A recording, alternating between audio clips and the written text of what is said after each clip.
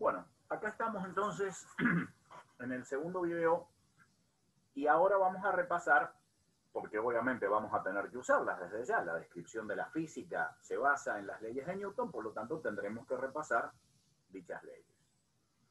Este, toda, la, toda la descripción que vamos a hacer nosotros de la naturaleza, del funcionamiento del universo, la teoría, como ya habíamos hablado en el primer video, habíamos mencionado, que describe el funcionamiento del universo, se va a basar en lo que se denomina la mecánica clásica, que es básicamente las leyes de Newton. Dentro de ese contexto, con esa teoría, vamos a explicar y vamos a después a aplicarlo para poder modificar la naturaleza, que es lo que en básicamente es la tecnología. Em, bien, las leyes de Newton, eh, como posiblemente sepan, son tres, fueron formuladas por Isaac Newton y es lo que da la base de sustentación, el soporte de todo lo que se denomina mecánica clásica y que se utiliza para explicar en un amplio margen, en un amplio frente, el funcionamiento de la naturaleza este, y que básicamente es la aplicación, eh, eh, su aplicación es la, tecnología eh, que es por lo menos utilizada ampliamente a nivel de planeta Tierra. Si cuando uno empieza o quiere describir el funcionamiento del universo en el macrocosmos, todo el universo o en el microcosmos a nivel atómico, ya esta teoría tiene sus problemas, tiene que ser dejada de lado, eh, dejada de lado para eh, utilizar otras teorías más adecuadas. Pero en este contexto esto funciona bien. Primera ley de Newton. Un cuerpo permanece en estado de reposo, de movimiento rectilíneo uniforme, a menos que una fuerza externa no equilibrada actúe sobre él. Esto es la primera ley. Esta ley que parece, digamos, muy sencilla, muy inocente, tiene mucho, mucho, mucho fundamento y tiene que ser interpretada y tiene que ser leída con mucho cuidado. Lo, lo que está básicamente dando aquí es las condiciones de, este, digamos, de reposo. Cuando un cuerpo va a permanecer en reposo o en movimiento rectilíneo uniforme, que es un tipo muy particular de movimiento, cuando no actúen fuerzas externas sobre él. Ahora bien, esto en el lenguaje de la física significa, pasado a una, a una forma más coloquial, dicho de una manera más coloquial, cuando nosotros evitamos que ese cuerpo interactúe con su entorno, es decir, cuando cortamos la posibilidad de que el cuerpo o el sistema que estemos analizando, estudiando, interactúe con su entorno, entonces solamente va a haber dos posibilidades para que ese cuerpo, en el que ese cuerpo se encuentre. O está en reposo, está quieto, o se está moviendo, pero solamente con movimiento rectilíneo uniforme. Eso por un lado. Además, acá hay otra cosa interesante. La fuerza no tiene que estar equilibrada. Bueno, eh, para poder entender, eh, digamos, esta parte de la oración, tenemos que enunciar las tres leyes y después lo vamos a, estudiar con mucho más detalle cuando veamos las condiciones de equilibrio. Pero hago la, digamos, la aclaración para tenerlo en cuenta. Yo voy a hacer, voy a volver para atrás sobre este punto en su momento. Primera ley. Segunda ley de Newton la ley fundamental, digamos, de, la física. La aceleración de un cuerpo, de un objeto, em, en la dirección de la fuerza resultante que está actuando sobre él es directamente proporcional a la magnitud e, e inversamente, de esa fuerza e inversamente proporcional a la masa de ese cuerpo. En realidad, la formulación más común es esta que está acá. La fuerza resultante o la sumatoria de fuerzas que están actuando sobre ese cuerpo como consecuencia de la interacción que ese cuerpo tiene con su entorno, acá estamos diciendo que al, al, decir de la resultante o la sumatoria de fuerzas, que es equivalente, lo que estamos diciendo desde el punto de vista conceptual es que la manera de interactuar del cuerpo con su entorno puede ser de muchas formas. Ya vamos a ir estudiando o van a ir apareciendo a medida que eh, eh, desarrollemos esta unidad distintos tipos de interacción, es decir, distintos tipos de fuerza que pueden actuar sobre un cuerpo. Ahora bien, ¿qué es lo que dice esta ley? Dice, si el cuerpo interactúa con su entorno, eso va a estar contado a través de la fuerza resultante, de la fuerza o de la sumatoria de fuerzas que actúan sobre él, lo que va a producir esta fuerza, esta interacción, es un cambio en el estado de movimiento del cuerpo que está contado a través de una magnitud física que se denomina aceleración. el coeficiente de proporcionalidad entre la interacción cuantificado a través de la fuerza y el cambio de estado de movimiento cuantificado a través de la aceleración viene dado por una constante física que depende de las características del cuerpo y que se llama masa de ese cuerpo. Muy bien. Perfecto. Tercera ley. Para cada fuerza que actúe sobre un cuerpo, debe haber una fuerza exactamente igual y contraria que actúe sobre quien está ejerciendo esa fuerza. En realidad lo que dice esta ley es, establece de qué manera se produce esa interacción. Cuando un cuerpo interactúa con su entorno, eso lo contamos a través, lo cuantificamos a través de una magnitud física llamada fuerza, que no lo dije en, eh, digamos, no lo dije anteriormente, lo digo ahora, esa fuerza es un vector, es una matemáticamente es un ente vector, un ente llamado vector. Es decir, no solamente tiene una, está representado por una cantidad numérica, sino además debe tener otras características que son la dirección y el sentido. Esta fuerza, vuelvo a repetir, cuantifica la interacción del cuerpo con su entorno. Y ya habíamos visto que puede interactuar de varias maneras distintas. Ahora, esta tercera ley pone el énfasis de qué manera se produce esa interacción. Cuando un cuerpo interactúa con su entorno, en realidad hay una interacción mutua. Entonces, contado a través del lenguaje de la física, a través del concepto de fuerza, diremos que el cuerpo que está interactuando con su entorno ejerce una fuerza sobre el entorno, el cuerpo sobre el entorno, y el entorno ejerce una fuerza sobre el cuerpo en forma de interacción. Esas fuerzas para poder distinguirlas, las vamos, las vamos a llamar o le vamos a dar el nombre de acción y reacción. Acción será aquella fuerza que el entorno ejerce sobre el cuerpo y reacción será la fuerza que el cuerpo ejerce sobre el entorno. Pero siempre la interacción hace que aparezcan fuerzas de a pares, de a dos, acción y reacción. Desde el punto de vista matemático, desde el punto de vista del vector como ente físico, estas, estos vectores, fuerza, acción y reacción, tienen igual módulo, igual dirección y sentido contrario.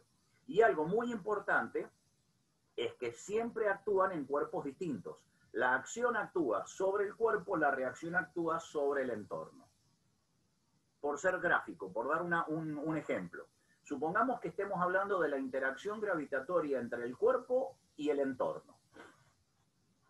Por ejemplo, el planeta Tierra. Un cuerpo que está eh, sobre el planeta Tierra interactúa con... Eh, hay una interacción entre esos dos objetos, el cuerpo y el planeta. ¿Qué tipo de interacción? Una interacción especial llamada interacción gravitatoria. ¿Cómo lo contamos a través del concepto de fuerza? Bueno, diremos que la Tierra interactúa con el objeto aplicando una fuerza particular que recibe un nombre especial, el peso, aplicando la fuerza, debido a esa interacción, aplica una fuerza sobre el cuerpo que tiende a atraerlo hacia la Tierra, hacia el centro de la Tierra. Esas son las características especiales de ese tipo de interacción llamada gravitatoria. De nuevo, la fuerza peso. Ahora bien, como esta fuerza es una consecuencia de la interacción, y aparecen de a tiene que haber una reacción en otro lado. En realidad, ya lo sabemos, la acción es el peso, es la fuerza que la Tierra ejerce sobre el cuerpo. Ahora, tiene que haber una reacción.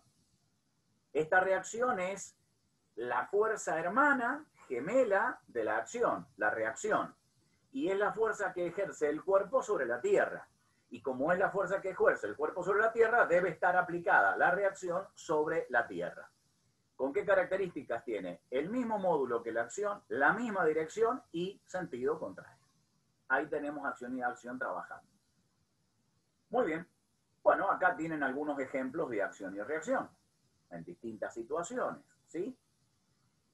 Es cuestión de que las analicen y es cuestión que siempre se pregunten qué fuerza es la que está ejerciendo quién sobre quién. La persona ejerce una fuerza sobre la pared. La pared hace una fuerza exactamente igual y contraria sobre la persona. La persona ejerce una, una fuerza sobre el piso.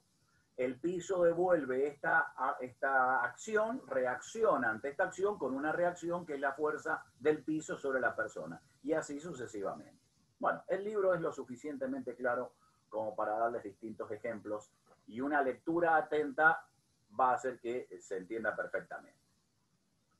Ahora caemos a una condición de equilibrio, es decir, hay una situación especial que a nosotros en esta unidad de mecánica nos va a interesar estudiar con detalle, que es la condición de equilibrio. El hecho de que pueda el cuerpo interactuar con su entorno de, diferentes formas, desde el punto de vista matemático, se expresa o se, este, se calcula de la siguiente manera, haciendo la sumatoria de fuerzas. Cada interacción del cuerpo con su entorno se cuantifica a través de un vector de una magnitud física llamada fuerza. Si el cuerpo puede interactuar de varias maneras con su entorno, cada una de esas interacciones estará representado por una fuerza. La interacción total o resultante va a estar dada cuantitativamente por la sumatoria recuerden ustedes que es vectorial, por la sumatoria vectorial de todas las fuerzas.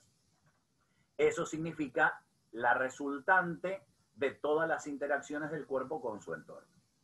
Ahora bien, como los vectores son susceptibles de ser sumados y cuando son sumados obtenemos un vector resultante, entonces cuantitativamente podemos, en lugar de trabajar con la sumatoria de fuerzas, hacer la sumatoria de fuerzas y quedarnos con un solo valor, con un solo vector, que es el vector resultante, y que está representando a todas las fuerzas, a todos los vectores fuerzas que están actuando sobre el cuerpo y que produce el mismo efecto. Pero desde el punto de vista del cálculo es mucho más sencillo trabajar con un solo vector resultante que con la suma de vectores. Ahora bien, Dentro de esa situación, cuando el cuerpo sufre la acción de estas fuerzas, va a haber o se va a producir en el cuerpo un cambio de estado de movimiento, contado a través de otro vector que se llama aceleración, que tiene la misma dirección y el mismo sentido que la suma de los vectores o que el vector resultante. Muy bien. Ahora, yo puedo tener fuerzas aplicadas sobre un cuerpo como consecuencia de la interacción de este cuerpo con su entorno, pero podría no tener ninguna resultante. Si la sumatoria de fuerzas que están actuando sobre el cuerpo da igual a cero, la interacción está, la interacción se cumple, la, interacción está presente y activa, es decir, está actuando el entorno con el cuerpo porque están interactuando, hay fuerzas aplicadas, pero el hecho de que el cambio de estado de movimiento esté producido por la acción combinada de todas las fuerzas, es decir, por la sumatoria de todas las fuerzas, me permite a mí, eh, eh, eh, digamos, llegar a la conclusión de que si esta sumatoria da cero, no se va a producir cambio de estado de movimiento. Decir, si la sumatoria de fuerzas que están actuando sobre el cuerpo o la resultante de estas fuerzas es igual a cero, la aceleración del cuerpo va a ser cero. Bueno, a este estado se le llama estado de equilibrio. El cuerpo está en equilibrio. En realidad, hay una condición más que hay que agregar. Porque de la primera ley de Newton nosotros sabemos de que si el cuerpo está en equilibrio, y si no hay fuerzas resultantes actuando sobre él, y ahora queda claro lo que habíamos dicho, lo que yo les había dicho, eh, les, había aclarado en el primer video, va a quedar claro esto de que las fuerzas externas no equilibradas.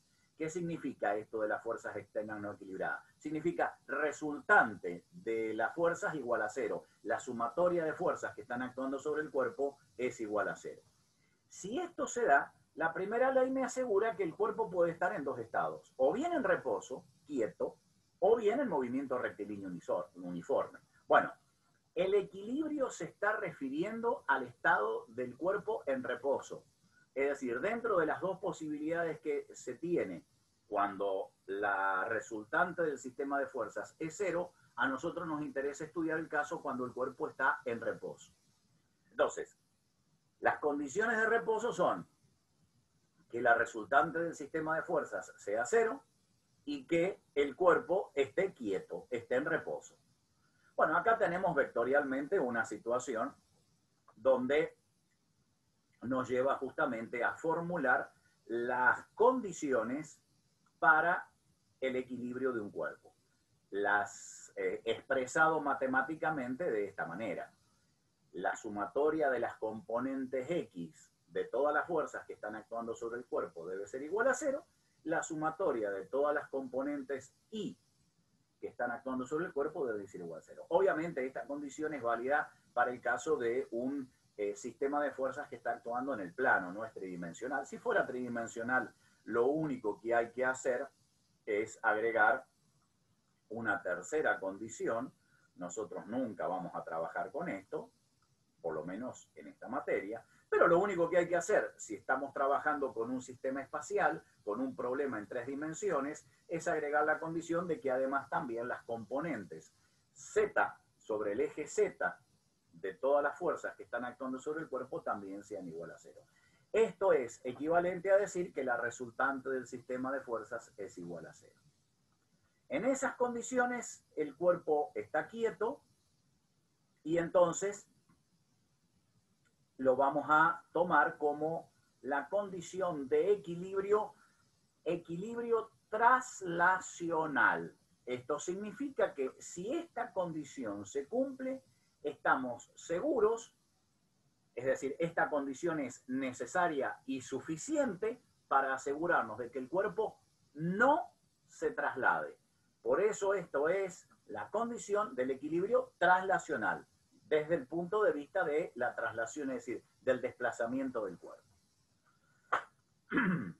Bien, vamos a estudiar nosotros en detalle esto y vamos a resolver extensamente problemas eh, imponiendo esta condición en el estudio del equilibrio de los cuerpos. Y para eso va a ser necesario aplicar cierta metodología de resolución eso es sumamente importante en física porque si uno adopta una cierta este, metodología de resolución y, digamos, lo, cumple, lo, lo, aplica bien, las posibilidades de equivocación o de cometer algún error en el cálculo se minimizan.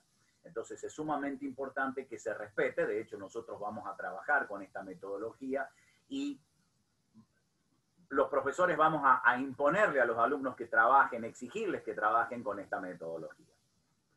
Siempre vamos a, partir de un enunciado cualquiera que este, me ejemplifica una situación particular para un sistema, para un cuerpo que puede interactuar con su entorno.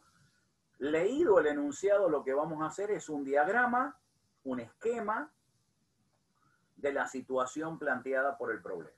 Por ejemplo, una bola de un determinado peso está sujeta al techo y a la pared a través de cuerdas que forman ciertos ángulos, eso depende de los datos particulares. A partir de la lectura, eh, de la lectura y de la relectura en primera y segunda instancia del enunciado, uno tiene que intentar hacer un esquema, un dibujo de lo que plantea el problema. Si uno puede hacer eso, quiere decir que el enunciado lo entendió.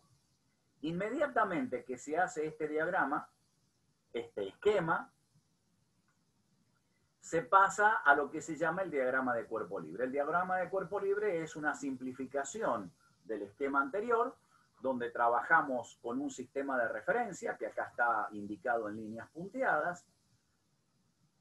Y fíjense ustedes que acá lo que hemos hecho es colocar todas las fuerzas que están actuando en un punto determinado de este sistema. Acá el punto es la intersección de las dos cuerdas, mejor dicho, de las tres cuerdas, de la que sujeta al sistema a la pared, de la que sujeta al sistema al techo y de la que tiene o de la cual pende esta, esta esfera. Estas tres fuerzas, la fuerza que eh, hace la cuerda A, la fuerza que hace la cuerda B y la fuerza de, digamos, de la cuerda que está sosteniendo a la esfera, están representadas dentro de este sistema de referencia y es con el que nosotros vamos a trabajar. Bien, nosotros siempre vamos a trabajar con este diagrama, con el diagrama de acción. ¿Qué significa el diagrama de acción? El diagrama donde figuren todas las fuerzas de acción. Es decir, lo que a nosotros nos va a importar es estudiar las fuerzas que están actuando sobre el cuerpo como consecuencia de la interacción de este cuerpo con su entorno. Pero vamos a hacer el estudio de fuerzas de acciones, el estudio de las fuerzas que actúan sobre el cuerpo como consecuencia de la interacción.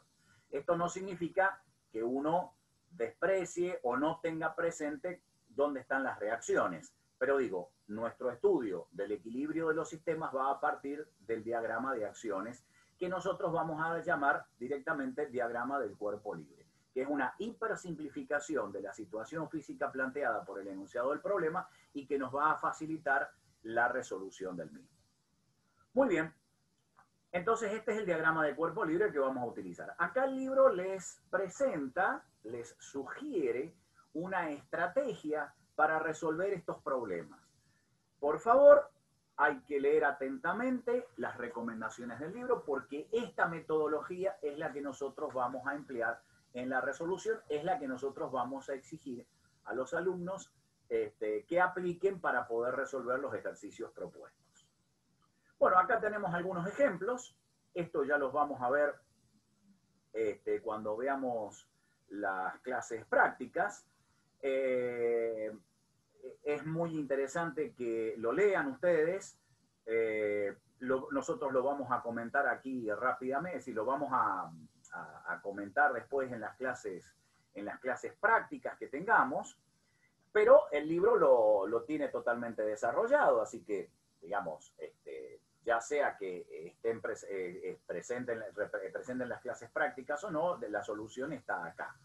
Otra vez, fíjense, así actúa la estrategia de resolución. Leemos el enunciado.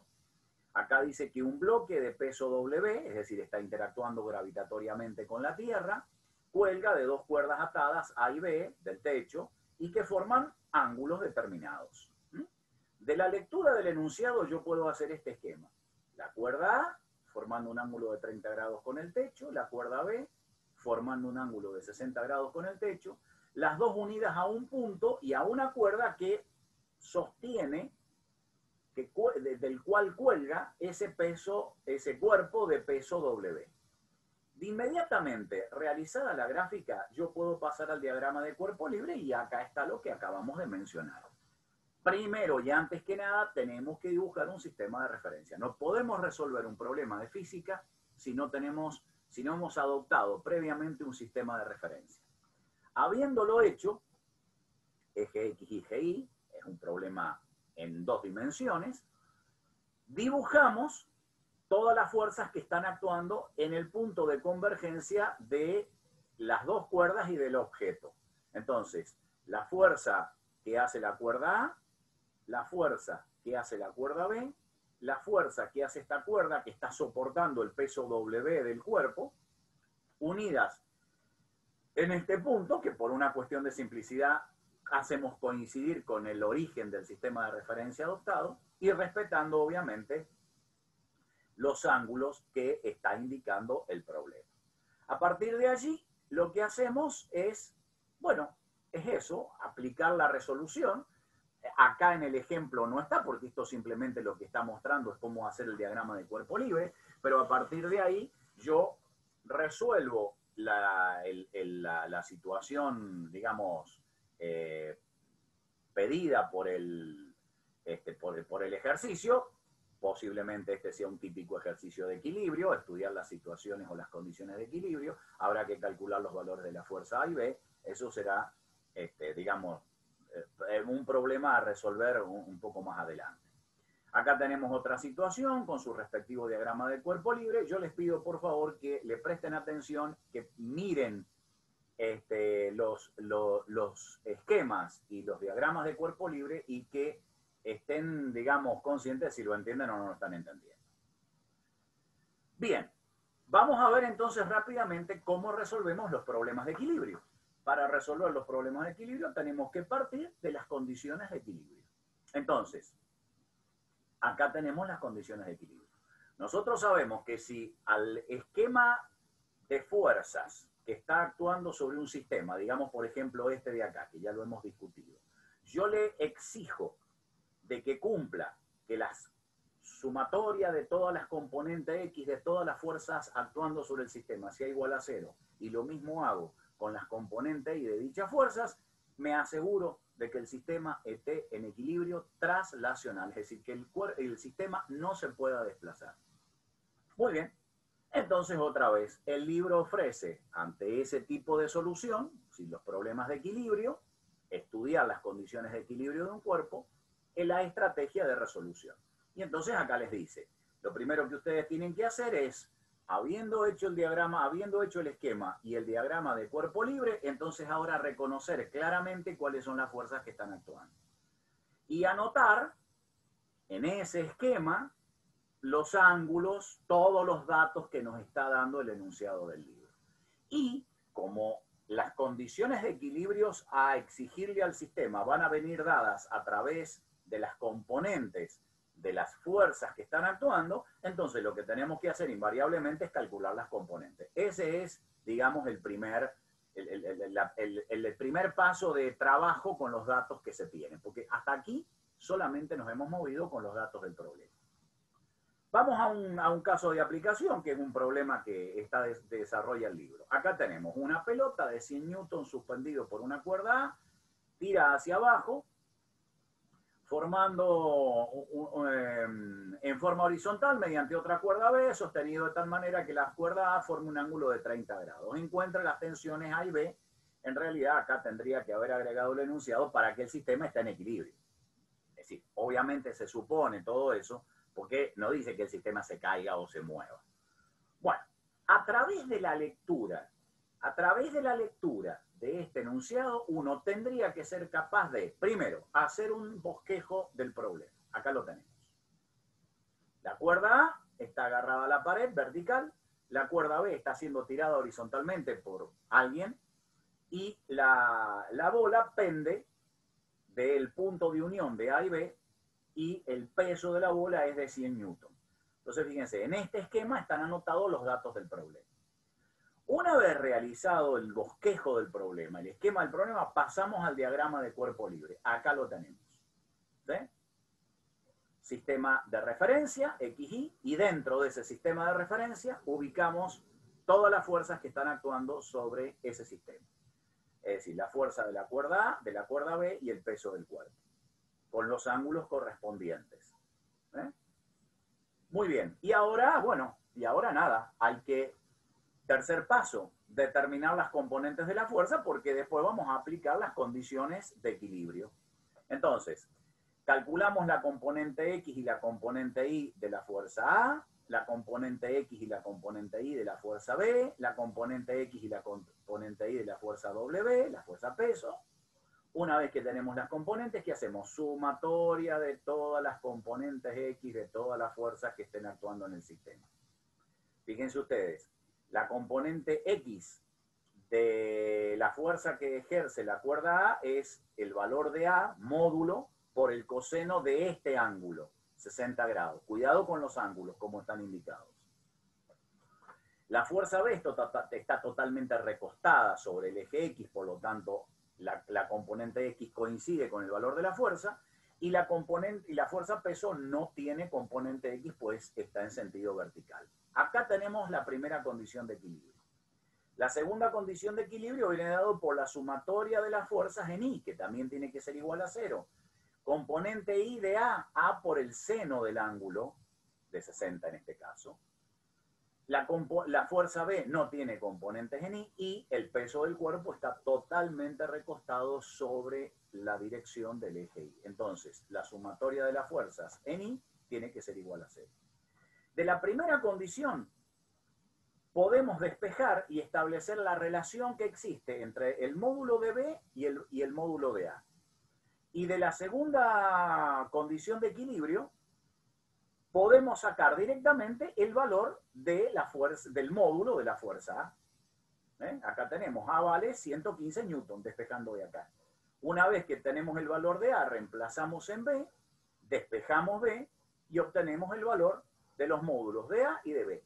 Eso agregado a la dirección y sentido que ya está mostrando el gráfico, tenemos resuelto el problema. Hemos encontrado los valores de las, los valores de las fuerzas A y B que ponen en equilibrio a este sistema.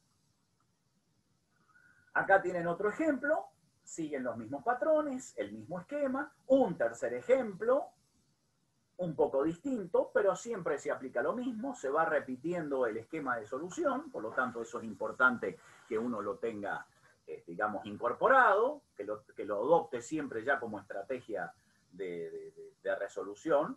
Lo vamos a aplicar exactamente en todos los problemas de física que vamos a ver, en cualquier unidad. Bien, y acá tenemos una nueva fuerza. Vamos a agregar una nueva fuerza. Dentro de las múltiples formas en que un cuerpo puede interactuar con su entorno, esta es una que merece una atención en particular que se llama fuerza de fricción. La fuerza de fricción siempre aparece interactuando sobre el cuerpo a nivel de superficies de contacto, es decir, aparece cuando este, el cuerpo, acá bien lo dice, está en contacto con otra, con una superficie determinada e intenta moverse. Esto es muy importante e intenta moverse. Cuando pasa esto, aparece una fuerza que se llama fuerza de fricción. Bueno, estos son los ejemplos tradicionales de, la fuerza de fricción. Acá el libro les ofrece una característica, una descripción. habla y hay una pequeña clasificación de las fuerzas de fricción porque que el baúl, por ejemplo, en el caso de este ejemplo, que el baúl intente moverse, digamos, por ejemplo, el baúl está puesto sobre una superficie y hay alguien que está tratando de empujar el cuerpo, el baúl en este caso, entonces en esa situación va a aparecer una fuerza de fricción, porque el cuerpo se va a poner en movimiento. Ahora, hay que dejar en claro dos situaciones distintas que pueden suceder en este esquema. Una, que aún aunque esté puesta una fuerza F1 que intente mover al cuerpo, el cuerpo no se pueda mover. Ya sabemos cuál es la condición de equilibrio. La sumatoria de fuerzas que están actuando sobre el cuerpo debe ser igual a cero. ¿Qué es lo que ha sucedido en este caso? Que la fuerza F1 y la fuerza de fricción que aparece a nivel de superficie de contacto sean iguales. Sumatoria de fuerzas igual a cero, no hay movimiento del cuerpo. Pero podría ser que el cuerpo se ponga en movimiento y siga en contacto con la superficie, deslizando. Ahí no hay equilibrio, sin embargo sigue actando la fuerza de fricción. Entonces, cuando uno calcula la fuerza de fricción, tiene que tener en cuenta estas dos situaciones. En el caso de que la situación sea la descrita por la gráfica A, hablaremos de una fuerza de fricción estática. Y en el caso de eh, la situación B, hablaremos de una fuerza de fricción cinemática o dinámica. Fs para representar a la fuerza de fricción estática, Fg para representar a la fuerza de fricción dinámica o cinética. Acá el libro le dice cinética. Muy bien, perfecto. Em, bueno, mm, eh, acá está descrita las condiciones que se deben cumplir para que haya fuerza estática o fuerza cinemática de fricción. Eh, la diferencia entre una y otra va a venir dada a través de, fíjense ustedes que el cálculo de la fuerza de fricción, acá está explicado, dice que la fuerza de fricción es directamente proporcional a la fuerza normal que está actuando sobre ese cuerpo. Volvamos al caso del baúl. ¿Cuál es la fuerza normal? La fuerza normal es una fuerza que está actuando sobre el cuerpo, es decir, aparece como consecuencia de la interacción del cuerpo con su entorno, en este caso sobre la superficie en la que está apoyado. Cuidado con este concepto. La fuerza de fricción también es una fuerza que aparece como consecuencia del contacto con una superficie. Pero a diferencia de la fuerza normal, la fuerza de fricción aparece cuando el cuerpo intenta moverse deslizando sobre esa superficie de contacto. Mientras que la fuerza normal es una fuerza que actúa sobre el cuerpo por el solo hecho de que el cuerpo esté apoyado sobre una superficie de contacto. Entonces son dos interacciones completamente distintas. Muy bien. Acá tenemos el, caso de otra, de otra situación, pero que sirve sobre todo para ejemplificar cómo actúan las fuerzas. Fíjense, sobre este bloque que está siendo tirado por esta cuerda, aparecen cuatro fuerzas como consecuencia de esa interacción. La primera, la fuerza peso, debido a la interacción del bloque, con la Tierra, debido a la atracción gravitatoria. La fuerza normal, debido a que el cuerpo está apoyado sobre una superficie. Entonces, la fuerza que la superficie de contacto hace sobre el cuerpo es esa fuerza normal. Esta fuerza siempre es perpendicular a las superficies de contacto, siempre la tensión del hilo, obviamente, que está tratando de arrastrar a esa caja, a ese cuerpo, y la fuerza de fricción, que es una fuerza que aparece a nivel de superficies de contacto, pero cuando el cuerpo intenta deslizar.